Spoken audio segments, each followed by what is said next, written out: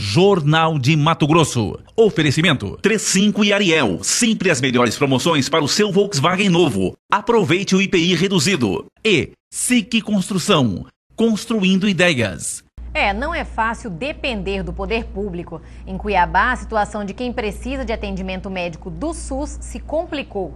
Hoje, 20 pediatras do pronto-socorro da capital comunicaram que também vão pedir demissão. O atendimento já foi reduzido pela metade.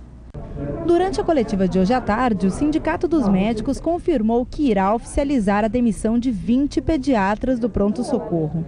Segundo a pediatra Gláucia Presa, que também pediu demissão, o aviso prévio terminou no último domingo, mas ela e os outros pediatras continuam atendendo, enquanto aguardam uma proposta da prefeitura. Uma decisão da categoria, nós nos reunimos aguardando uma nova contraproposta que não foi feita então, por isso, da paralisação a partir de hoje, às 19 horas. Na realidade, estamos aguardando durante um pouco mais de 30 dias e nenhuma proposta concreta de fato foi realizada.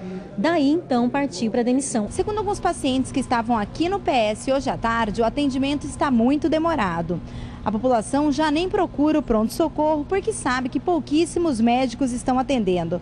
As negociações entre o Sindicato dos Médicos e a Prefeitura continuam. Estou aqui desde mais ou menos duas horas. Não tem atendimento? Não, ninguém falou nada, só pôs minha ficha lá dentro e deixou aqui. Segundo a assessoria de imprensa do Pronto Socorro, no mês de setembro foram atendidas cerca de 8.900 pessoas. O fluxo normal de pacientes é de quase 20 mil por mês. É, e quanto a um posicionamento da Prefeitura, a assessoria de imprensa pro, foi procurada mais uma vez pela nossa produção, mas nós não recebemos resposta até o fechamento dessa edição.